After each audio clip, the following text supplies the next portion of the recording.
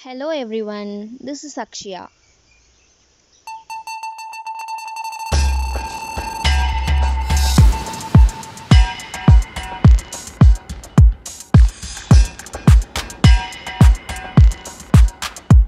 இன்றைக்கி நம்ம வீடியோவில் பருப்பொடி எப்படி பண்ணுறதுன்னு தான் பார்க்க போகிறோம் பருப்பொடி தோசை இட்லி கூட ஒரு நல்ல காம்பினேஷன் அண்ட் சூடான சாதத்தில் ரெண்டு கரண்டி நெய் விட்டு ஒரு ஸ்பூன் பருப்பொடி போட்டு மாங்காய் புளிக்குழம்பு வச்சு தொட்டு சாப்பிட்டிங்கன்னா வேற எதுவும் தேவையில்லை நீ மட்டும் போதும். அந்த மாதிரி தாங்க இருக்கும். காஞ்சிபுரமில் என் அத்தை ஒருத்தவங்க இருக்காங்க. அவங்க எனக்கு இந்த மாதிரி பருப்பொடி ஒரு கடையிலேருந்து வாங்கி அனுப்புவாங்க. ரொம்ப சூப்பராக இருக்கும். அதில் இன்ஸ்பயர் ஆகி தான் இந்த பொடியே நான் செய்ய ஆரம்பித்தேன் வாங்க நம்ம இப்போ வீடியோக்குள்ளே போகலாம் ஃபஸ்ட்டு ஐம்பது கிராம் உளுத்தம்பருப்பு எடுத்திருக்கேன். அதை நல்ல வெறும் வானலியில் செவக்க வறுத்துருங்க.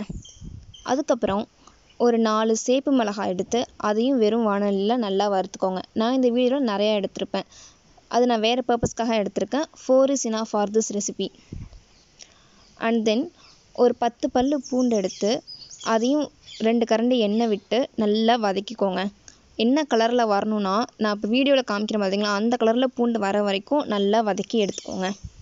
அப்புறம் ஃபிஃப்டி கிராம்ஸ் பொட்டுக்கடலையை எடுத்து பூண்டு வதக்குனீங்க இல்லையா அந்த எண்ணெயே கொஞ்சம் பேலன்ஸ் இருக்கும். அதிலே போட்டு நல்லா வதக் வறுத்துக்கோங்க. ரொம்ப கருகிடக்கூடாது. அதுக்கு முன்னாடி இருக்கிற ஸ்டேஜ்லேயே வந்து ஒரு ஒன் மினிட் நீங்கள் போட்டு பண்ணிங்கனாலே இது கரெக்டாக இருக்கும். பொட்டுக்கடலை ஸோ சீக்கிரமாக கருகிட்டும் டக்குன்னு எடுத்துருங்க. நீங்கள் சப்போஸ் ஃபஸ்ட் நம்ம போட்டோம்ல வெள்ளை உளுத்தம் பருப்பு. அதை வேண்டாம்னு நினச்சிங்கன்னா நீங்கள் அதுக்கு பதிலாக பொட்டுக்கடலையே ஹண்ட்ரட் கிராம்ஸாக போட்டுக்கலாம். ரெண்டுமே எடுக்கிறீங்கன்னா ஈக்குவல் ரேஷியோவில் எடுத்துக்கோங்க. வெள்ளை உளுத்தம் பருப்பு ஃபிஃப்டி கிராம்ஸு பொட்டுக்கடலை ஃபிஃப்டி கிராம்ஸ் அந்த மாதிரி ஈக்குவல் ரேஷியோவில் எடுத்துக்கோங்க. இதுக்கப்புறம் இதை நல்லா ஆற வச்சு ஒரு மிக்ஸி ஜாரில் மாற்றிக்கோங்க தேவையான அளவு உப்பு போட்டுக்கோங்க. ஃபஸ்ட்டே நான் சேப்பு மிளகாய் வந்து நல்லா மிக்ஸியில் அரைச்சிக்கிட்டேன். ஏன்னா அதை அரைக்கிறதுக்கு ரொம்ப லேட் ஆகும். சில நேரத்தில் நீங்கள் எல்லாத்தையும் சேர்த்து போட்டு அரைச்சிங்கன்னா அது மட்டும் திட்டு திட்டாக இருக்கும். ஸோ அதனால் ஃபஸ்ட்டு அதை நல்லா பவுடராக அரைச்சிக்கிட்டு அதுக்கப்புறம் மற்ற இன்க்ரீடியன்ஸ் எல்லாத்தையுமே போட்டு நல்லா ஃபைன் பவுடராக அரைச்சிக்கோங்க. அவ்வளோதான் நம்ம பருப்பு பொடி ரெடி ஆகிடுச்சு இந்த வீடியோ உங்களுக்கு பிடிச்சிருந்துச்சுன்னா லைக் பண்ணுங்கள் ஷேர் பண்ணுங்கள் சப்ஸ்கிரைப் பண்ணுங்கள் அப்படியே பக்கத்தில் இருக்க பெல் ஐக்கனை மறக்காமல் கிளிக் பண்ணிவிடுங்க அப்போ தான் நான் போஸ்ட் பண்ணுற நெக்ஸ்ட் வீடியோட நோட்டிஃபிகேஷன் உங்களை வந்து சேரும். ஏன்னா நீங்கள் பர்சனலாக காண்டாக்ட் பண்ணணும்னு நினச்சிங்கன்னா you can contact me through Instagram N Instagram ஐடியோட லிங்க் நான் டிஸ்கிரிப்ஷன் பாக்ஸில் கொடுக்குறேன்.